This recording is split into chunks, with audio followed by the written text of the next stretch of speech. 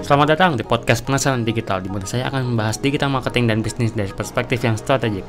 Bersama saya, William Jakfar.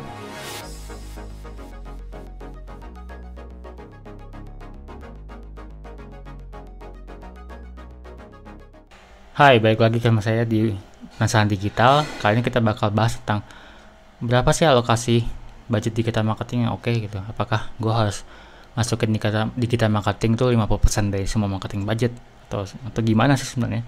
Apa aja sih yang bakal dikeluarin di digital marketing? Sebelumnya di episode sebelumnya saya pernah bahas tentang seberapa mahal digital marketing. Cuman di sana saya nggak bahas tentang secara konkret apa aja biaya-biaya yang bakal keluar. Cuman di sini saya bakal bahas biaya-biaya yang bakal uh, kurang lebih keluar lah. Dalam nentuin budget di kita marketing itu uh, alokasinya tuh macam-macam juga sih. Sebenarnya nggak ada actual rule-nya seperti apa karena balik lagi ke kemampuan finansial perusahaannya seperti apa. Cuma biasanya balik lagi ada ada dua uh, tahapan yang bisa dilakukan. Uh, buat perusahaan yang baru mencoba uh, digital marketing biasanya alokasi budget itu ditentukan oleh berapa proporsi uang yang berani dia keluarin. Nanti uh, strateginya diputar dari sana. Jadi misalnya uh, dia cuma punya budget spare 5 juta per bulan. Oke ini dari 5 juta ini gue bisa pakai buat apa aja sih? Bisa nggak bikin uh, website? Bisa nggak bikin sosmed di IG bisa nggak uh, punya iklan? Dan sebagainya dan sebagainya dan sebagainya. Jadi balik uh, pertama kali yang harus dilihat adalah constraint perusahaannya apa dulu. Kalau misalnya constraintnya adalah uh, resource. Ya bergeraknya dari resource-nya dulu. Karena nggak masuk akal sekali buat perusahaan untuk uh, masuk. Invest banyak sekali untuk sesuatu yang sebenarnya belum ada hasilnya. Itu jadinya overkill. Yang kedua biasanya saya saranin ke klien-klien dan sebagainya adalah kalau misalnya mereka udah savvy ya kita balikin hasil apa yang pengen mereka capai. Maksudnya review itu mereka sudah sering di digital tapi mereka tetap bingung alokasi budget. Balikin lagi uh, karena di digital enaknya kita punya analytics kita bisa hitung uh, eh, ROI marketing strateginya itu berapa sih. Nah dari sana kita bisa hitung balik lah bisa ketemu rumusnya lah kira-kira uh, misalnya cost per satu akuisisi customer itu berapa sih? Misalnya 50 ribu ngambil angka gampang. Jadi kalau misalnya next year uh, gue mau ada satu juta customer baru ya tinggal dikali aja. Eh, satu uh, juta dikali 50 ribu. Mungkin masuk ke tentang uh, supaya dalam skenario nya biayanya nggak nggak uh, terbatas banget. Jadi misalnya 50 ribu sampai 60 ribu gitu. Tapi perusahaan bisa bergerak dari sana. Alokasi budget bisa di keluarin berdasarkan argumentasi kita pengen punya target sekian. Hence kita punya kita harus punya budget sekian gitu. Dalam penentuan alokasi itu biasanya tergantung dari uh, appetite perusahaannya. Seberapa berani mereka seberapa urgent mereka harus masuk ke digital. Banyak perusahaan di tahun-tahun ini yang mulai ngerasa kompetitornya mulai masuk dan mereka kayak nggak mau ketinggalan gitu.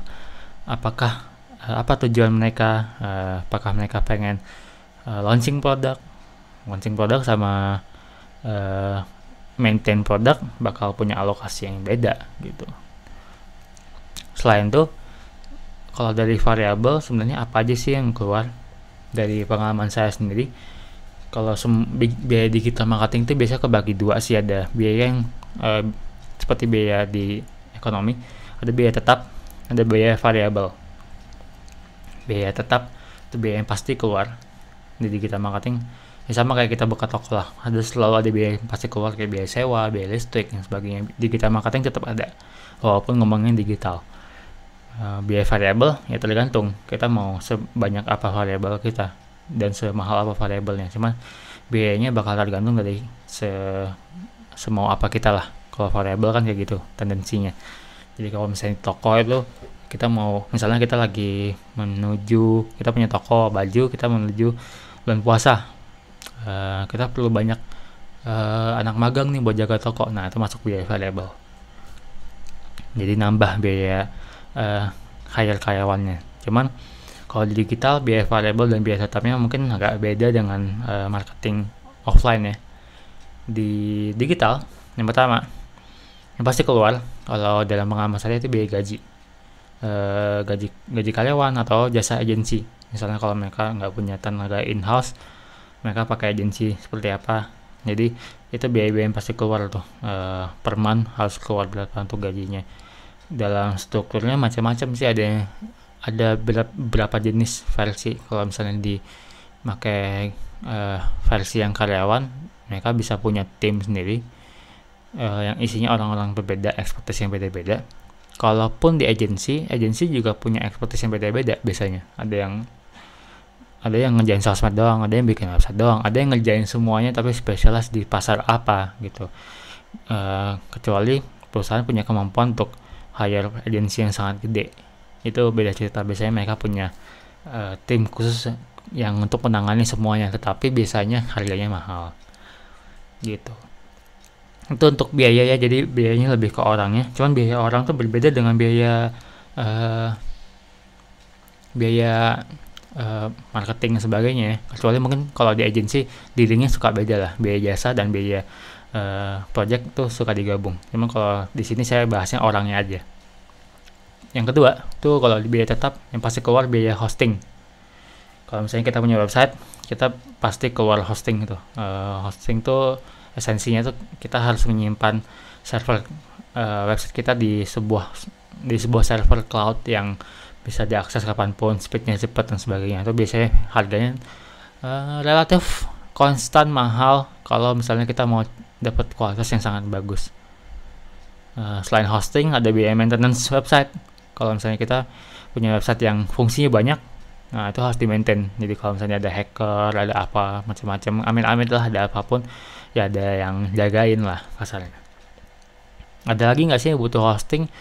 Um, kalau misalnya basisnya uh, sosmed dan website doang tuh enggak cuman kayak podcast nih. Kalau misalnya perusahaan mau bikin podcast itu kan mereka harus uh, mengupload file audionya. Nah itu butuh hosting lagi tuh semakin banyak di download semakin beda juga uh, biayanya. Terus ada lagi kayak biaya, software biasanya yang, yang cukup banyak kalau di digital marketing, marketing ya. Kalau dalam pengalaman saya itu biaya software. Jadi contohnya kayak manajemen email itu semakin banyak subscriber email. Uh, kalau misalnya subscriber email di bawah 2000 itu mungkin di bawah satu juta per bulan masih oke okay lah. Tapi kalau subscriber emailnya di atas 100 ribu. Oh itu cukup mahal sih hitungannya. Karena maintaining emailnya uh, bisa mungkin sekitar di atas 10 jutaan per bulan. Untuk email doang ya. Tapi kalau misalnya dijadiin manual pun nggak mungkin. Karena kita harus menggunakan software dulu. Pertama kita kemungkinan blacklist Google yang cukup tinggi. Kalau kena blacklist Google tuh ya kita ngirim apa pun bakal selalu spam. Itu banyak kejadian di perusahaan-perusahaan bahkan perusahaan-perusahaan gede yang nggak pakai software uh, ya terus mabok aja sih. Ada 100 ribu database email. Mau ada satu orang ngejalan sendiri pun tetap mabok gitu. Selain itu juga banyak sekali software-software uh, analytics. Ada beberapa software gratis tapi software-software yang cukup powerful kalau di skala tertentu mending bayar. Kalau menurut saya ada software-software yang digunakan untuk merekam uh, orang itu merekam orang ngapain di website dan sebagainya. Itu biasanya uh, biayanya mungkin di bawah juta per bulan juga ada software-software yang buat uh, kayak software-software uh, e-commerce gitu juga. Biaya, biasanya biayanya uh, tetap jadi per bulan itu selalu ada biaya yang keluar. Uh, karena mereka basisnya subscription. Macam-macam sih uh, software-software yang kita pakai. Jadi kita bisa aja uh, mulai dari software yang kita bisa biasa dipergunakan kayak website yang kelihatan lah software-software yang menduk yang yang cukup mahal biasanya software-software yang mendukung proses. Misalnya ya kalau mau bikin konten kita perlu uh, ide ide konten. Ada software-software yang digunakan untuk meriset konten apa yang lagi viral. Nah itu biasanya mereka perlu uh, biaya per bulan nih. Atau misalnya kayak uh, di kantor kami itu kita menggunakan software yang menggantikan Photoshop agar semua orang yang eh, nggak uh, punya kemampuan teknis desain itu bisa bikin aset uh, konten pakai Canva. Nah itu kan punya punya biaya juga. Biaya per bulan yang bakal keluar gitu. Jadi itu biaya-biaya yang bakal keluar per bulan secara tetap sih. Bisa murah bisa mahal itu tergantung dari uh, seberapa seberapa kepakainya sih. Jadi ada kalau misalnya nggak kepakai ya mending dijadiin biaya variabel aja. Jadi kalau pakai kalau lagi mau pakai ya pakai. Kalau enggak ya enggak cuman kalau kalau udah pasti kepake masuknya ke biaya tetap. Kalau kita bahas biaya variabel sebenarnya ini balik lagi uh, perusahaan yang biasanya cukup agresif biaya variabelnya bakal tinggi. Biaya variabel yang paling gampang kelihatan itu adalah misalnya ke konten. Uh, dalam pembuatan konten itu bikin konten tuh nggak segampang bikin uh, minta orang minta orang uh, desain sesuatu jadi konten tuh nggak. Kalau di kantor saya tuh kita mulai dari uh, strateginya seperti apa terus masuk ke konten researchnya seperti apa. Kita riset dulu kontennya apa ide-ide kontennya apa aja. Kita bisa butuh uh, resource khusus. Terus ada yang memindahkan ke dalam bentuk desain. Nah dalam desain ada biaya variabel selain biaya license dan sebagainya mungkin kalau misalnya teman-teman pakai Photoshop yang beneran atau ya biaya desainnya lah. Ada juga biaya misalnya beli stok foto. Uh, stok foto yang bagus bakal nentuin asetnya bagus atau enggak. Karena biasa orang pakai stok foto generik jadinya asetnya nggak terlalu oke. Nah stok foto tuh semakin banyak kita punya bakal semakin mahal kecuali kita pindahin tuh ke biaya tetap gitu. Terus kalau misalnya it, kontennya video ya bakal beda lagi biayanya. Dan biasa perusahaan-perusahaan tuh agak hesitant masuk ke video karena biayanya mahal mahal. Kalau misalnya dikeluarin ke freelance uh, konten-kontennya itu bakal jadi variabel semua tuh. Misalnya bikin satu konten kita mau bikin uh, 10 konten per bulan langsung keluar tuh. Let's say satu konten tuh ke butuh 15 ribu. Ya sekitar 5 juta. Mau dikurangin gimana? Ya jadi 5 aja. Dua setengah juta misalnya. Terus uh, biaya yang variabel yang cukup kerasa sekarang adalah biaya iklan. Uh, dalam pengalaman saya banyak klien yang proporsi budget iklannya mereka masih uh, ada ada dua tipe. Ada yang sangat agresif ada yang super hati-hati. Kalau yang sangat agresif mereka uh, biasa spending marketing advertising budget yang gede. Jadi mereka udah bisa baliho dan sebagainya tuh mereka bakal keluarin gede-gedean di iklan. Nah itu masuknya biaya variable. Kadang-kadang bisa bulan Januari 20 juta bulan Februari 100 juta misalnya bulan Maret turun dan sebagainya. Tapi itu jadinya biaya variabel karena misalnya mereka pengen nentuin season nih. Sebelum puasa gue mau produk gue dikenal semua orang. Karena puasa pasti turun. Banyak strateginya jadi biaya iklan macam-macam. Ada iklan ke Facebook ada iklan ke Google ke LinkedIn Twitter dan sebagainya. Itu biaya-biaya yang uh, sifatnya variabel ada lagi nggak biaya lain nih yang keluar? Uh, ini biaya yang jarang dikomunikasikan cuman biaya strategi itu biaya yang cukup uh, fluktuatif atau saya masukin saya masuk kategorikan di sini biaya variabel karena nggak semua perusahaan uh, ngerasa ada value. Tapi uh, biasanya kalau misalnya strategi udah jalan uh, kita marketing udah jalan lah ya. Mereka butuh pivot strategi nih. Let's say ada uh, kita udah jalanin dan kayaknya kita butuh uh, strategi tambahan nanti misalnya masuk lagi tuh. Cuman biasanya perusahaan uh, perlu lebih hati-hati karena strategi itu sulit sekali di transaksikan ke budget. Karena semuanya proses hanya ya kayak konsultan aja. Mereka ngomong-ngomong-ngomong tapi kan yang di yang dipakai kan ekspertis mereka gitu.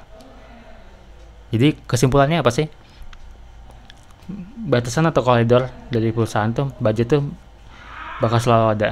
Ada yang fokusnya ke uh, kita kita tahun ini bakal coba digital. Jadi kita bakal menghabiskan banyak sekali uh, uang untuk nyoba. Konsernya budget. Ada yang konsernya hasil. Uh, saya divisi marketing bakal menghasilkan satu juta sales tahun depan. Oh udah berarti dibalikin hitungannya. Jadi uh, buat divisi marketing bisa lebih uh, lebih konkret lah. Kalau ditanya di kita marketing alokasinya mau berapa nih tahun ini? Ya balik lagi konsternnya apa? Apakah hasil atau uh, budget misalnya. Dalam pengalaman saya sih nggak ada yang benar nggak ada yang salah. Jadi uh, bisa aja perusahaan butuh ngelihat hasilnya pakai versi yang hasil. Atau perusahaan gede tapi tetap pakai budget juga karena mereka perlu tahu uh, perlu ngeset rem tertentu lah. Tapi uh, punya koridor yang clear itu bikin uh, perancangan strategi yang lebih gampang. Gitu sih thank you semuanya Terima kasih telah mendengarkan podcast Penasaran Digital. Simak episode lainnya serta info-info yang saya sebutkan di williamjakfar.com podcast. Jika ada feedback maupun pesan bisnis, silakan kunjungi informasi kontak saya di williamjakfar.com kontak. Saya William Jakfar, see you.